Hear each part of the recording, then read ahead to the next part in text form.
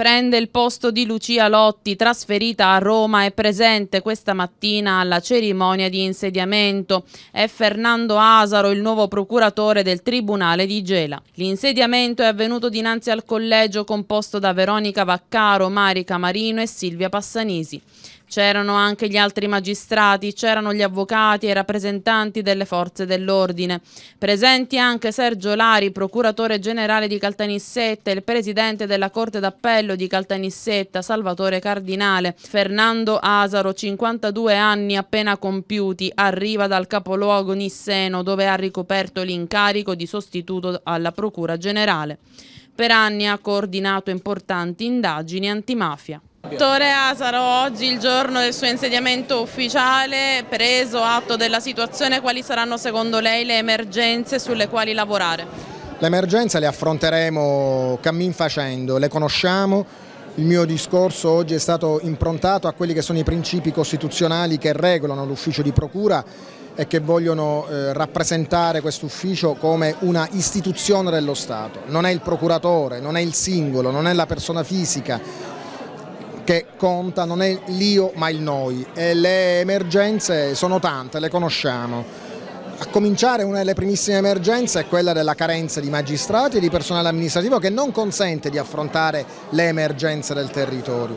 Ma noi ce la metteremo tutta ed affronteremo a uno a uno il nostro, il nostro assumeremo questo compito con tanta pazienza, disponibilità e voglia di andare avanti. Gela è una città molto viva, c'è sempre un grande fermento, lavorerà nel segno della continuità e il Tribunale e la Procura rimarranno aperti e trasparenti alla città? Assolutamente sì, questa è l'impronta di chi è venuto di, prima di me, appunto è l'impronta di un ufficio di procura che è l'istituzione dello Stato sul territorio, avamposto di democrazia sul territorio, l'apertura, con un sorriso anche e la disponibilità ad affrontare le tematiche, quelle serie e anche quelle un po' meno serie della comunità vanno affrontate, il Palazzo di Giustizia è aperto e l'ho già detto, saremo anche noi, continuando l'opera eh, di chi mi ha preceduto, ad uscire dal Palazzo di Giustizia, perché il Palazzo di Giustizia deve essere trasparente, non opaco e aperto. Dottoressa, tornare a Gela in occasione dell'insediamento del suo collega, che emozioni le sta trasmettendo?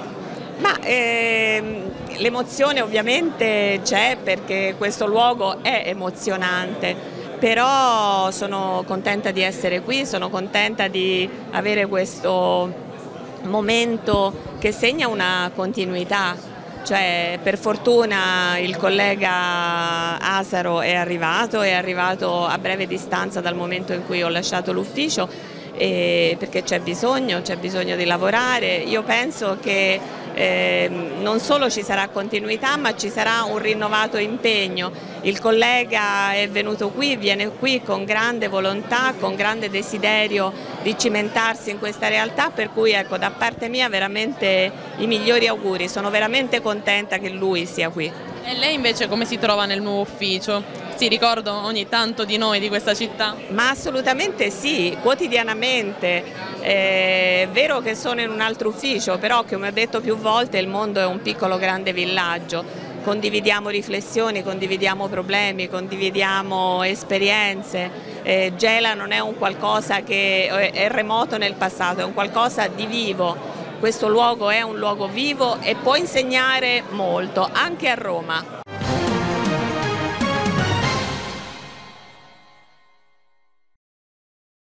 A 19 anni questa mattina ha sostenuto gli esami orari di maturità all'Istituto di Istruzione Superiore Eschilo di Gela, diretto da Gioacchino Pellitteri. Lui si chiama Samuele Di Natale, è un ragazzo autistico, in questi 5 anni scolastici è stato aiutato in classe nella vita da compagni sinceri e da una famiglia che non gli ha mai fatto mancare nulla. La storia che vi raccontiamo oggi abbatte il muro del silenzio. Ci sono tante famiglie a Gela che si trincerano dietro al problema. La famiglia di Natale il problema dell'autismo lo affronta ogni giorno con il sorriso, il sorriso di Samuele. Sì, ultimo giorno di scuola, eh, 4 luglio si finisce. Ti sei preparato bene? Sì, sì, ho preparato bene così. Tu hai studiato per davvero? Sì, per davvero ho studiato così. La commissione d'esame si è detta assolutamente soddisfatta delle prove scritta e orale superate da Samuele, lasciando intendere con un applauso che gli sarà assegnato il massimo dei voti. E dopo la scuola vuoi iscriverti all'università? No, no, va qua all'università, io voglio, voglio a settembre voglio dare pensione, come papà. Il ragazzo innamorato del Festival di Sanremo ricorda senza alcun tentennamento i vincitori delle edizioni. Nel 2016 chi ha vinto Sanremo? E saremo stadio. E un anno prima, nel 2015? O 2015 il volo. E anche nel 2014. A Issa. Ma dopo aver conseguito il diploma, cosa accadrà? Samuele è un ragazzo che vuole essere sempre eseguito, per cui dare, sarebbero molto difficoltoso mandarlo all'università perché avrebbe bisogno diciamo, della persona accanto. Il vero problema è Samuele dal momento in cui si diploma cosa deve fare? Perché non abbiamo nessuna istituzione, non ci aiuta né lo Stato né la Regione e neanche la provincia, perché per questi ragazzi ci vorrebbe a Gela, perché io ne conosco di tanti di questa tipologia di ragazzi con autismo, ci vorrebbe un centro diurno. Un centro diurno significa eh, tenere i ragazzi eh, impegnati tutto il giorno. Non lasciamoli nascosti, io con orgoglio ho un Sì. gioiellino, la mia vita, però dicendo agli altri genitori che si può arrivare a buon punto e io ne sono orgogliosa. Samuele questa mattina è stato attorniato dall'affetto dei propri cari, come ogni giorno. Noi da quando abbiamo avuto Samuele devo dire che la nostra famiglia ha avuto un, un gioiello, ha avuto qualcosa che ha migliorato anche il rapporto tra fratelli, tra genitori. Poi io devo dire sono anche un padre da poco e devo dire che Samuele è un ottimo zio, quindi ne andremo sempre orgogliosi e siamo felici di questo. Posso dire di essere molto orgoglioso di lui perché è arrivato a un ottimo punto. Questo appunto è un messaggio che voglio dare non solo per mio fratello, ma anche per altri ragazzi che hanno, tra virgolette, questi problemi. Perché sono convinto che se ce l'ha fatto mio fratello, possono farcela anche loro.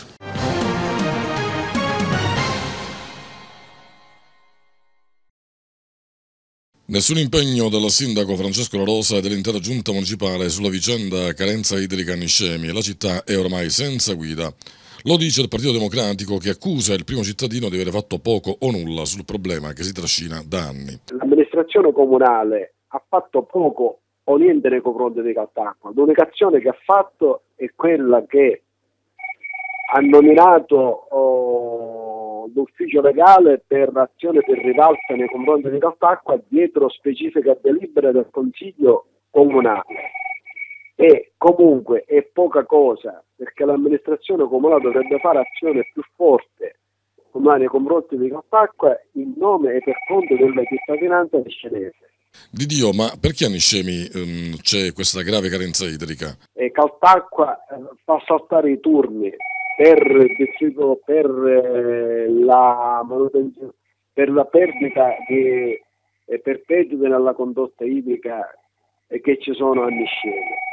Premesso che nel 2006, quando è stato affidato il contratto a Caltacqua, nel contratto pare che sia scritto che Caltacqua deve fare delle opere di consolidamento della rete idrica, di miglioramento per fornire l'acqua addirittura H24, cosa che a quanto risulta Caltacqua non ha fatto.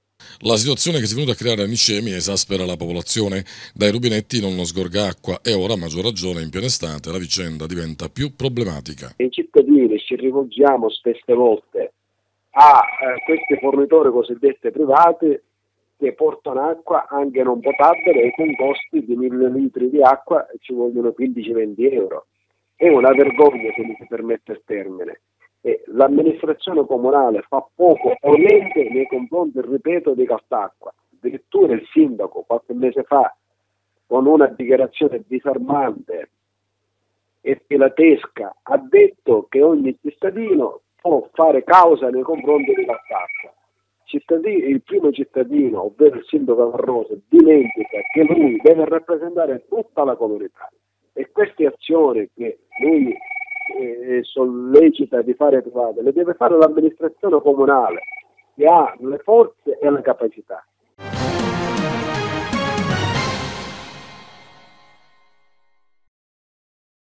40 candeline per la sezione gelese dell'AIAS, l'associazione che accoglie ed eroga prestazioni per la tutela di pazienti con deficit fisici, psichici e sensoriali. Nata nel 1976, opera Gela in Contra Manfria, offrendo prestazioni e servizi a soggetti portatori di handicap. Il presidente Anna Maria Longo. E festeggeremo quattro persone in modo particolare perché sono quelli che da, fin dall'inizio operano nell'AIAS, dall'apertura una, sarà una cosa commovente e specialmente per me che c'è una persona a me troppo cara e fe, mm, parleremo pure di persone scomparse che meritano il dottore Battaglia presidente, il primo presidente si può dire. La cerimonia di oggi è stata condotta dalla giornalista Rosa Battaglia, presenti le autorità istituzionali. C'era anche Francesco Lotrovato, presidente d'onore AIAS. Io ho l'onore di essere stato uno dei primi ad avviare questa attività, godo della stima di tutta l'AIAS nazionale, sono veramente orgoglioso per ciò che ho fatto, non è merito mio, è merito sa di chi del Padre Eterno che mi ha dato la testa che ho, altrimenti non avrei saputo fare niente. È stato necessario avere anche con la classe politica intelligente degli anni Ottanta, intelligente degli anni Ottanta, avere l'umiltà, avere la capacità di, non tanto di, persuasio, di persuasione, ma quando di diciamo, chiarire qual era il problema della disabilità, l'emarginazione nostra, dei nostri figli e noi genitori e quindi fare un riscatto, un riscatto in una popolazione, l'italiana, che dalle sue radici cristiane non può che essere orgogliosa nel momento in cui si attiva per il prossimo, si attiva a riscattare quelle che sono le marginazioni. Il Vescovo di Piazza Merina, Monsignore Rosario Gisana.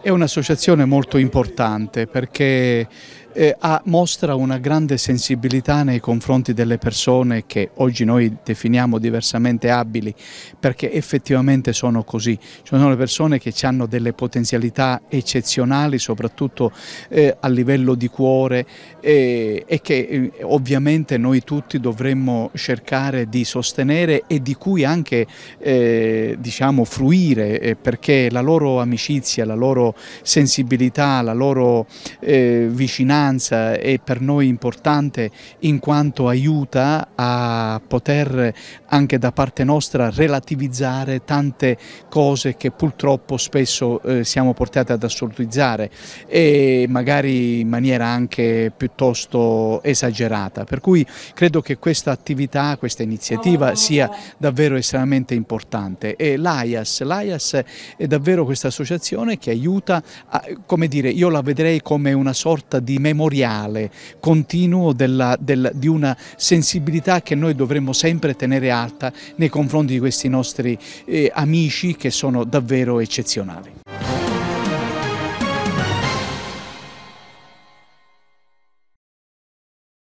Si arricchisce di una linea telefonica lo sportello antiviolenza Angelas istituita al comune di Gera lo scorso 8 marzo. Il numero di telefono da cui rispondono le assistenti sociali è 0933 906745. Lo ha reso noto l'assessore comunale servizi sociali Licia Abela che ha presentato il servizio attivo tre giorni alla settimana, così come previsto dal relativo progetto rivolto a donne e minori vittime di qualsiasi tipo di violenza. I giorni di apertura dello sportello sono il lunedì e il giovedì dalle 8.30 alle 11.30 e il martedì dalle ore 15.30 alle ore 17.30 una linea telefonica a supporto delle donne e dei minori vittime di violenza, violenza non solo fisica ma anche psicologica, economica, di qualsiasi tipo, un servizio che va a supporto e a potenziare quello che è già l'attività dei nostri collaboratori alla, alla servizio, eh, ai servizi sociali. Il numero da chiamare è lo 0933 906 745, il lunedì e il giovedì dalle 8.30 alle 11.30 e il martedì dalle 15.30 alle 17.30, quindi un supporto sia telefonico ma anche ovviamente in, la possibilità di incontri personali qui al secondo piano del plesso dei servizi sociali presso il comune di Gela. Ovviamente la rete è una delle caratteristiche principali eh, dello sportello Angelas, infatti qualora ci fosse bisogno non mancheranno supporti psicologici, ehm, anche delle forze dell'ordine, anche supporti sanitari qualora appunto venisse richiesta la tipologia in base alla tipologia dell'intervento, quindi una vera e propria rete che si mette a disposizione dei minori e delle donne vittime di violenza, qualsiasi eh, essa sia, questa può essere in qualche modo tutelata e aiutata eh, all'interno di questi spazi. C'è stata una grossa spinta per attivare anche questo servizio telefonico eh, nella maniera più veloce possibile, proprio per dare un supporto anche a chi dovesse avere l'esigenza e avesse in qualche modo delle reticenze a recarsi presso gli uffici fisicamente, quindi una linea telefonica che possa essere a supporto delle donne, per esempio, che possono anche avere dei momenti di eh, particolare bisogno di supporto psicologico, penso ad un postpartum, penso a dei momenti particolari nella vita di tante donne, di tanti minori che in questo momento vivono eh, una situazione magari magari di disagio. Quindi eh, proprio a loro io mh, rivolgo la, la, mia attenzione, il, il, mio pensiero, visto anche gli ultimi fatti di cronaca molto, molto gravi che si sono succeduti in città. Le soluzioni ci possono essere, i professionisti sono a disposizione e qualsiasi tipologia di eh, situazione nella quale appunto ci si possa trovare può sicuramente trovare una risoluzione in una maniera molto semplice e molto professionale. Quindi il mio invito è quello ad utilizzare questi strumenti che il Comune e tutta la rete mette a disposizione disposizione perché nessuno debba sentire l'esigenza di, eh, nemmeno il pensiero deve essere sfiorato di eh, pensare di fare dei gesti estremi.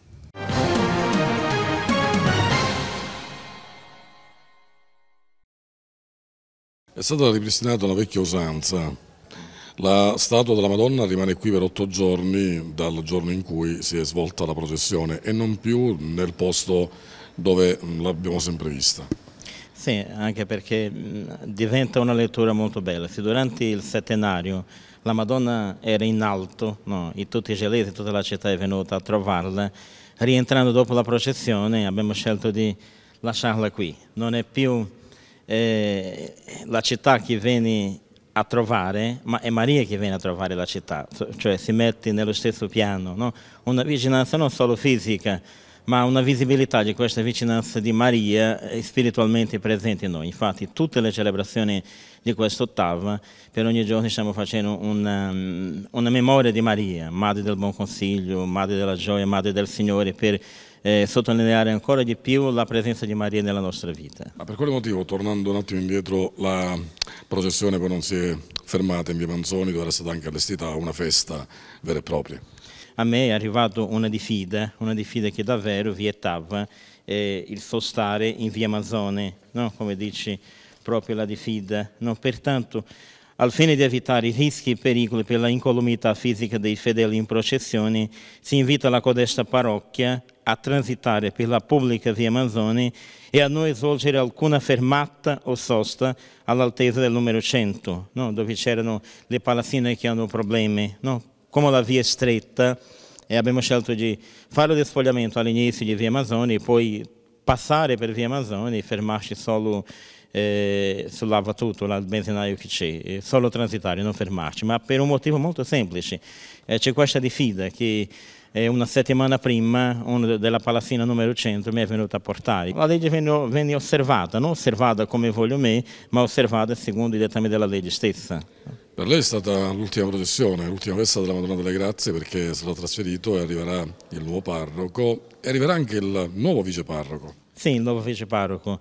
Ieri il governo della provincia, il ministro provinciale con il suo consiglio è stato radunato e hanno eletto Fra Luca Bonomo che è stato con noi in questa settimana, lui sarà il nuovo parroco. A fianco a lui eh, prenderà il mio posto come vice parroco Fra Emanuele Artale che attualmente lavora anche fa un servizio al carcere a Gelle, quindi verranno questi due.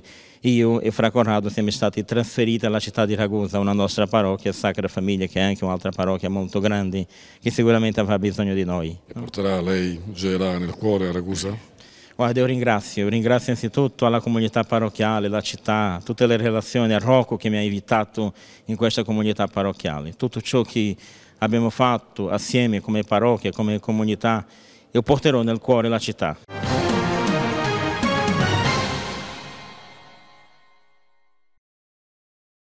Dopo qualche giorno d'attesa è arrivata la definitiva comunicazione da parte della regione siciliana sulla riconferma direttore del Museo archeologico regionale di Gela dell'architetto Ennio Turco. La notizia si innesta in un momento in cui è in corso la rimodulazione dei musei e delle aree archeologiche dell'isola. Che cosa cambierà? Ne abbiamo parlato con il direttore che resta alla guida di una delle risorse più preziose di Gela e del suo comprensorio. La regione siciliana ha fatto una riorganizzazione di tutti gli uffici dei beni culturale e anche Caltanissetta ha avuto questa modifica. Si tratta un po' eh, sia per quanto riguarda eh, l'assetto organizzativo, ma eh, perché è finalizzato al risparmio un po' e a ottimizzare eh, quelli che sono i rapporti istituzionali tra, tra, i vari enti. Nello specifico Gela viene accorpato con eh, eh, il Museo di Gela viene accorpato col Museo di Caltanissetta, appunto facendo questo polo regionale.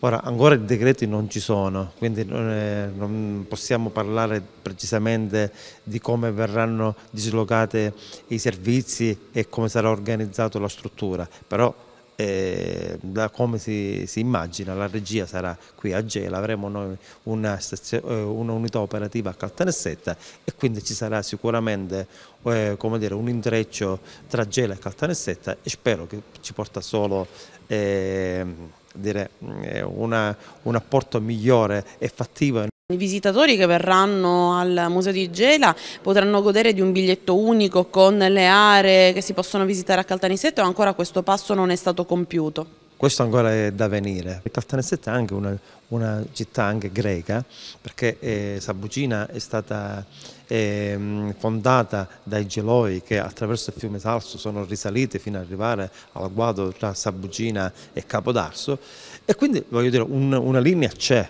questa è una cosa che eh, forse eh, lo sanno solo gli addetti ai lavori, lo dobbiamo far sapere al mondo intero. Poi il, quando riguarda il biglietto intero e il biglietto unico, questo lo vedremo con il Dipartimento che ci darà de, sicuramente dei ragguardi. Quali sono i progetti, insomma le idee ecco, che intende mettere in campo? I progetti ne abbiamo tanti, eh, tra cui tre eh, che già a prescindere dal polo museale il Museo di, di Gela sta portando avanti. Uno la ristrutturazione del museo esistente che si tratta di un, un progetto con eh, fondi economici europei, con un PON, che è più di 3 milioni di euro, quindi nel giro di qualche anno noi avremo eh, la ristrutturazione di questo museo esistente. E poi ci sono altri due progetti, uno sulla valorizzazione di Caposoprano e dell'Acropole e uno su Bosco Lettorio. Questi come progetti che noi già a prescindere eh, di questo eh, polo noi stiamo portando avanti.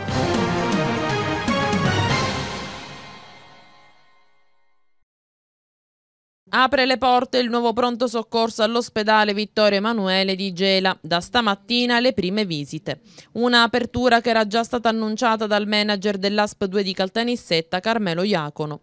Oggi, dopo tanti mesi di aspettative, abbiamo aperto il nuovo pronto soccorso che è un pronto soccorso più centrale, più centrale per l'ospedale, perché è vicino alla radiologia, alla rianimazione, sopra abbiamo l'UTIC è un pronto soccorso che è ritornato all'origine, si trova in via Palazzi e la gente, l'utente avrà più possibilità di entrare più, è più vicino, è più confortevole, è a norma di legge, con le stanze migliori, tutto climatizzato, ci sono varie stanze dedicate come il, il punto bianco, codice verde, giallo, rosso, il rosso è più, è più, ingrandito, migliore, ogni stanza ha due postazioni. Per ciò che riguarda il nuovo pronto soccorso e il personale, i sindacati ospedalieri avevano già espresso da un lato soddisfazione, ma dall'altro delusione per la carenza di personale. Il personale finalmente mi ha telefonato stamattina la, la direzione strategica di Caltanissetta, il direttore generale, stanno prendendo due medici, voi sapete che attualmente noi abbiamo un personale di sette medici,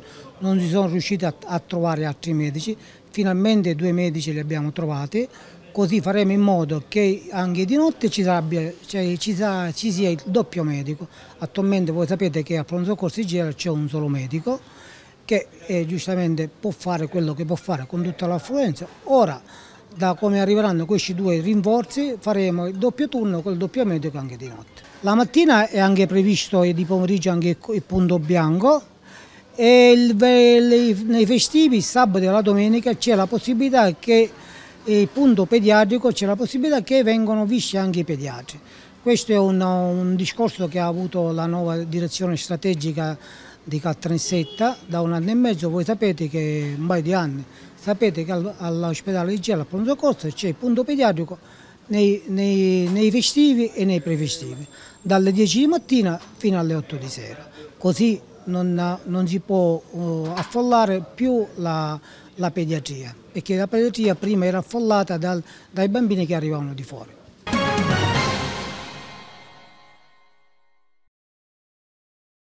Al bando lo spreco si va a recuperare tutto ciò che eh, i commercianti non riescono a vendere nel corso della giornata e prima che l'alimento diventi deperibile lo si dona a chi ha bisogno.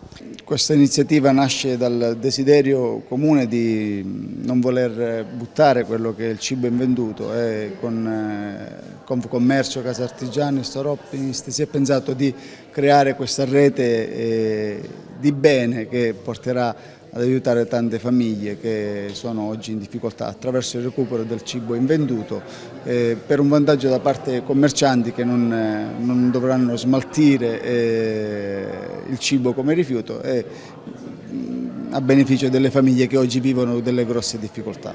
Abbiamo voluto fortemente questa cosa perché è importante, è importante per, per la città, è importante eh, aiutare a dei risvolti importanti, eh, per cui speriamo solo, speriamo che possa partire veramente, perché questo è solo l'inizio di un lavoro e di un impegno che deve essere poi un po' di tutti, quindi invitiamo anche tutti quanti il, eh, diciamo, i panificatori e, tutti e, quanti eh, ad associarsi a questa iniziativa che ritengo aiuterà tanto la città di Gela. Il problema più grosso come al solito in Italia è la burocrazia perché noi abbiamo i nostri commercianti, operatori, panificatori che hanno voglia di donare l'invenduto però ci sono le leggi che lo vietano, quindi abbiamo trovato un escamotage, se così possiamo dire, grazie alla Casa del Volontariato, la piccola Casa del Volontariato, che ci ha permesso di, di trovare quello strumento burocratico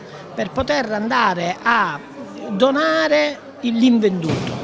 È un'organizzazione che bisogna eh, diciamo, affrontare di petto perché intanto eh, il messaggio è partire, quindi già la sensibilizzazione è stata fatta, abbiamo già dei, eh, delle microimprese, i panificatori, i ristoranti e pizzerie che già hanno capito il tipo di, di messaggio, quindi eh, piano piano si parte con loro. Eh, l'istituzione della Casa della Misericordia devo dire che è un'idea assolutamente indispensabile per la città e che si faccia all'interno dell'ex orfanotrofio è perfettamente coerente con lo spirito e con lo statuto dell'ex orfanotrofio, che è rivolto alla, a chi ha bisogno. Eh, e purtroppo chi ha bisogno è in aumento in città. Eh, la Casa della Misericordia fa la sua parte per quanto potrà fare. L'amministrazione ovviamente non, eh, non è in grado di rispondere a bisogni immediati del momento e questo è un ruolo che la Casa della Misericordia, ma anche altre chiese, devo dire, svolgono con, eh, in modo encomiabile. L'amministrazione ha il compito invece di creare le condizioni perché questo um, trend eh, negativo abbia a invertirsi.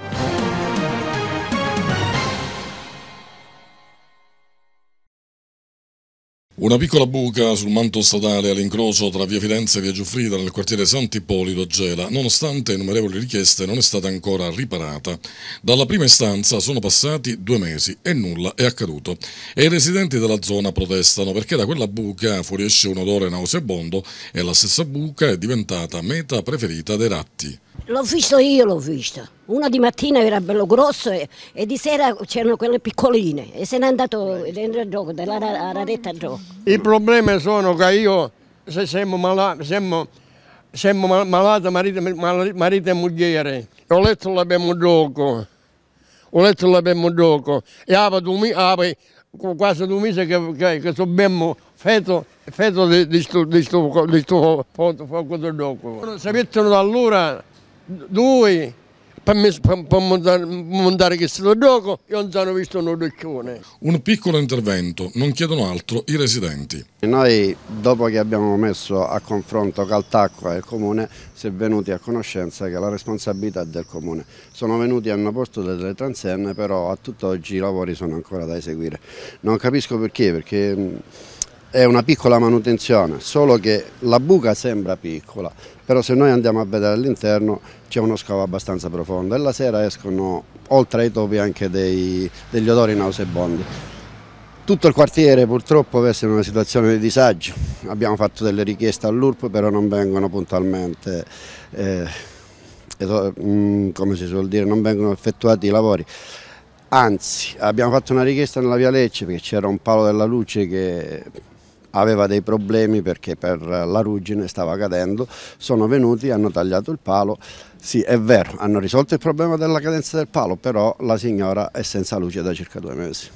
Chiedete un intervento al comune? Ma certo, che, che capuzza manco potremmo stare, cane, stiamo fuori, se mangiano legge, che a fare?